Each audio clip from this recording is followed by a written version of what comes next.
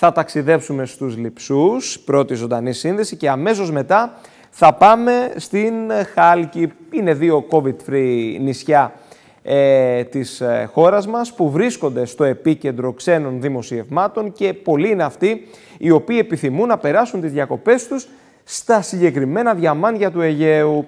Πάμε να ξεκινήσουμε και να συνομιλήσουμε με τον κύριο Φώτη Μάγκο, ο οποίος είναι δήμαρχος Λιψών. Δήμαρχε, να σας ευχαριστήσω και να σας καλησπερίσω από Κρήτη.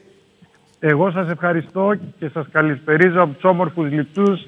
Ε, καλησπερίζω την όμορφη Κρήτη και όλους όσους μας βλέπουν και μας ακούν. COVID-free λοιπόν το νησί εκεί στους ε, Λιψούς.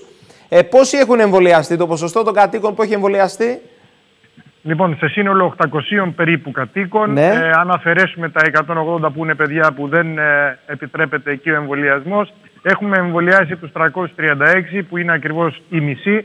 Ε, όμως είναι μια κατάσταση δυναμική. Ε, στην πορεία μπορούν κάποιοι να κλείνουν ραντεβού και να εμβολιάζονται ε, προϊόντος του χρόνου. Υπήρχαν κάποιες επιφυλάξεις στην αρχή. Και με τις όμως... δύο δόσεις.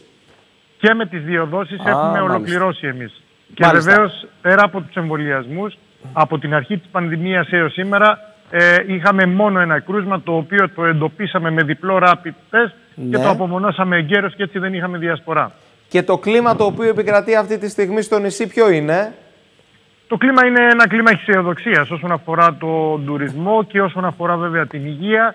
Ε, είμαστε βέβαια στην αρχή του ανοίγματο της εστίασης. Ακόμα τα πράγματα είναι λίγο μουδιασμένα όπως και σε όλη την Ελλάδα. Ναι. Όμως ε, αυτό από μόνο του σαν γεγονός και το γεγονός επίσης ότι φέτος ο τουρισμός ανοίγει δύο μήνες γρηγορότερα ε, δημιουργεί ε, μεγαλύτερη αισιοδοξία και έχοντας σαν δεδομένο την περσινή χρονιά όπου καταφέραμε με όλη αυτή την κατάσταση να έχουμε 100% πληρότητα τον Αύγουστο και να μετακινηθεί ε, μέχρι και τον Οκτώβρη η σεζόν επειδή βοήθησε και ο καιρός είμαστε πάρα πολύ αισιόδοξοι ότι φέτος θα είμαστε σε μια πολύ καλύτερη κατάσταση βεβαίως από την περσινή και γιατί όχι να μην φτάσουμε και τα επίπεδα του 19. 15-15 Μαΐου ξεκινά σύμφωνα με τον κυβερνητικό σχεδιασμό και επίσημα η τουριστική σεζόν, η τουριστική περίοδος.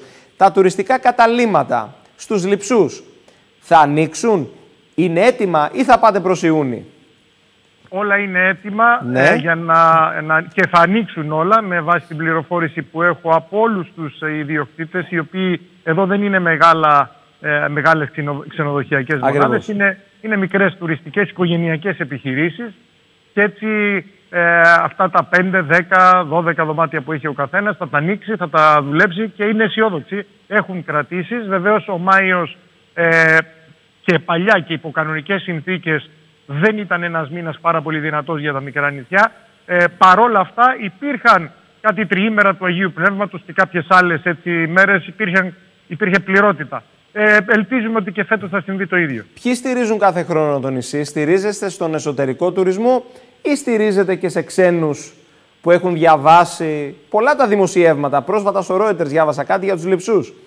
Πού στηρίζεστε περισσότερο; Όχι μόνο στο Reuters, ε, στη The Guardian, βέβαια, βέβαια, στο δεκάδες. στην Heisenblatt, ε, σήμερα. Ε, είμαστε, βοήθησε πάρα πολύ η στρατηγική που ακολούθησε η χώρα μας, να ξέρετε, το ότι έδωσε προτεραιότητα στα πολύ μικρά νησιά κάτω των χιλίων κατοίκων. Και ταυτόχρονα έδωσε και μία έτσι, όθηση στον τουρισμό γενικά για τη χώρα μας γιατί ε, ε, ακριβώς ε, έδωσε την αίσθηση ότι έγινε σωστός σχεδιασμός και ακολουθήθηκε η σωστή στρατηγική όσον αφορά τους εμβολιασμούς. Και τώρα αυτό θα το εισπράξουμε, έχω την εντύπωση. Εμείς κατά βάση έχουμε ε, τουρισμό από Ιταλία. Το 70% των τουριστών είναι Ιταλοί, ε, οι οποίοι έχουν και μόνιμες κατοικίες εδώ. Αλλά ξέρετε ότι αυτοί παίρνουν, παίρνουν, και πάρα πολλούς άλλους φίλους, γίνεται διαστόματος η, η διαφήμιση καλή. Ξέρετε, οι Ιταλοί έχουν και αδυναμία στην, ε, στην καλή κουζίνα, οπότε φαντάζομαι αυτό το βρίσκουν και στους λειψούς. Η φινέτσα των Ιταλών είναι, είναι ναι. ιδιαίτερη και στις γεύσεις, αλλά και στις ακτές και στις παραλίες. Γενικά δηλαδή δεν ψάχνουν μαζικότητα, Σωστά. ψάχνουν ε, περιοχές που τους θυμίζουν τις παλιές καλές εποχές της Σαρδινίας, της Σικελίας και αυτά καθομολογία τους, έτσι δεν τα λέω εγώ. Μετά από τους ε, Ιταλούς έχουμε και πάρα πολλούς ε, Βρετανούς, Γάλλους, Γερμανούς οι οποίοι αυτοί κυρίως έρχονται τους μήνες μη εχμή, Ιούνιο, Ιούλιο και μετά βέβαια το Σεπτέμβρη. Και έτσι γεμίζουμε την τουριστική σεζόν ικανοποιητικά. Μάλιστα. Δήμαρχες, συννεφιά βλέπω σήμερα στο νησί. Είναι οι τελευταίες μέρες ενώ έχει ανέβει η θερμοκρασία, έχει αρκετά σύννεφα, αλλά θα φύγουν εν καιρό και θα έρθει και ψυχολογικά θα καθαρίσει η κατάσταση, θα φύγουν τα σύννεφα. Δήμαρχε, να σας ευχαριστήσω πολύ με το καλό να τα πούμε και το καλοκαίρι, να πραγματοποιήσουμε και άλλη σύνδεση. Γιατί όχι; όποτε θέλετε στη διάθεσή σας, εγώ σας ευχαριστώ για την πρόσκληση. Σας ευχαριστώ πολύ, να είστε καλά, καλό απόγευμα.